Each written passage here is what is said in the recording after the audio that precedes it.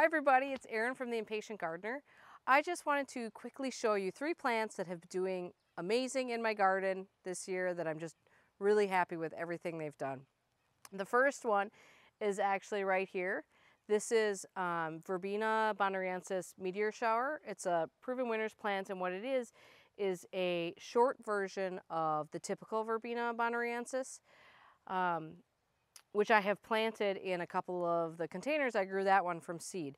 Um, there's a couple nice things about this plant. One, it doesn't reseed as readily as the other ones. Now, I actually wouldn't mind it to reseed because I like it that much, but a lot of people consider the regular Verbena bonariensis to be a bit of a thug because it reseeds a lot. I'm not, I think that's in a little bit warmer zone than my zone five. It doesn't do it as much in this zone. Um, it's it's got a lot more flowers packed on it than the, than the typical Verbena bonariensis. But what I love the most about this is that it's got this sort of airy structure. So I've got it relatively, as you can see, towards the front of this border. And it has been blooming nonstop. I haven't deadheaded it at all. It's been blooming nonstop all summer. And this is stop number one for every butterfly, bee, um, hummingbird moths we have, we've had on here, um, basically almost every pollinator you can think of loves this plant. And we've got it planted probably three feet from where we sit um, at night. So we can just sit here like amongst all the bees and the butterflies and it's great. And they're all drawn here by this plant. I actually have this plant growing in two other places in the garden. Um, it's in the circle garden looking amazing. And I also have it in the window box.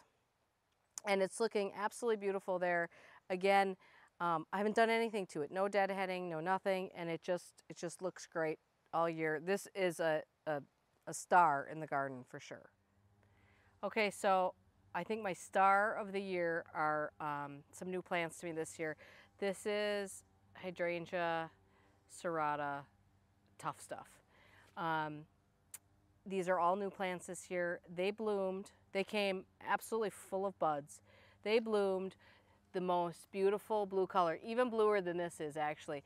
All of these back here, these sort of pinkish blooms, these have all faded. I'm leaving them on there, I haven't deadheaded it yet um, because I just think they're kind of pretty on there, but it actually sent up a few new flowers, so I'm actually gonna get two blooms out of brand new plants this year. Um, so what you need to know about this plant though is that the flowers will go either pink or blue depending on your soil. We have very alkaline soil here. So I'm going to have to really, um, I'm going to have to really work on amending the soil to try to get those blooms to stay blue, which I would like to do. In fact, this bloom, which is more purpley, um, you can already tell it's being affected by the pH of our soil because um, they were even bluer the first time they bloomed. Um, there, this is a lower growing hydrangea um, and they have these sort of lace caps and by far my favorite plant in the garden right now. I'm trying not to get too excited about it because I could go out and plant these everywhere. Love it. Um, so this is one to look for. That's hydrangea Tuff Stuff or tiny Tuff Stuff depending on how big you want to grow. Oh. By the way, so by the way, this blooms on old wood and new wood and I have found it to be bud hardy in our zone 5 garden. I know that there's a lot of concern about that. That's why it's called Tuff Stuff folks because it's tough and I am thrilled with this plant. Okay, so the last plant that I wanted to show you is this thing that looks like a tree behind me. This is Aralia silver umbrella. It's a grafted Aralia. I first read about this plant on Margaret Roach's blog, A Way to Garden, and I'll link to that, uh, to that article. I believe I bought it from Broken Arrow Nursery because it's the only place I could find it. Um, I think it's it's three years old now. It's either three or four years old. I think it's three. Um, and this year it actually like did exactly what I was envisioning. And I, you know, sometimes you plant these things and you have hopes that they will turn into what you envision them, and sometimes that just doesn't happen. Uh, in this case, it it did exactly what I was hoping. Um, I love these. I love that it's got these sort of bare stems down here um, so that it's open down here so I can have the um, incredible hydrangea and a couple of a little bit beaten down hostas here and some lamium growing and some ferns growing in this tiny little shade corner. Uh, and so I just love that it's kind of an umbrella over this whole thing, which of course is part of its name. Um, the only thing to be aware of with, with this plant is that because it's grafted, it has a tendency to send out shoots because um, it's grafted onto a regular green Aralia, which I believe is called the devil's walking stick because it is absolutely covered in thorns. And there are small thorns on this plant, so you don't really want to be too close to it. And um, I've and so what you want to do if you see those green shoots is cut them off right away. And I have done that, except what I found out is that it's sending out green shoots because I found earlier today there's a few green plants back there and I'm gonna have to make sure to cut those out, dig those out because A, I don't want those, to, it's a very aggressive plant. I don't want it taking over. Um, and you just want to make sure that you don't lose the variegation. If you let the green take over, if you send up shoots, your top will die out, you'll lose the variegated part, which is the part you want, and you'll just end up with this thorny green kind of thug.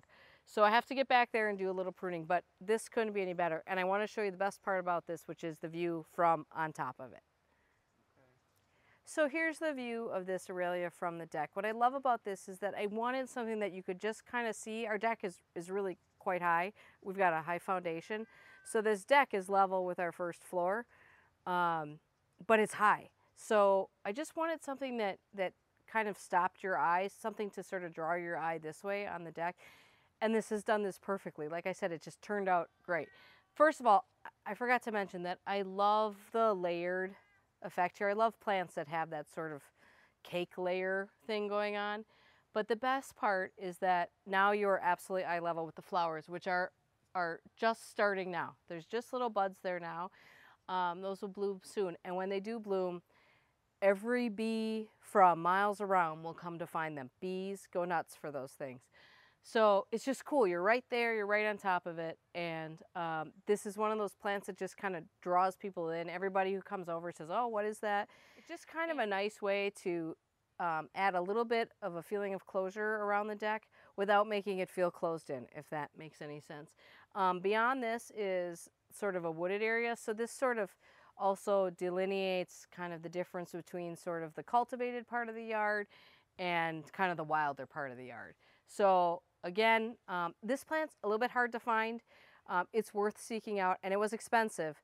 Um, obviously it's grown, I'd pay that, that price and then some for it because it's, it's grown quickly, it's grown well, and it was the perfect plant for this spot.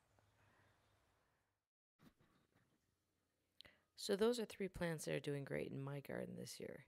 Let me know what's doing great in yours. Thanks for watching. See you soon. Bye-bye.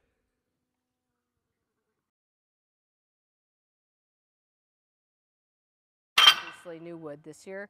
Um, the old wood um, blooms are,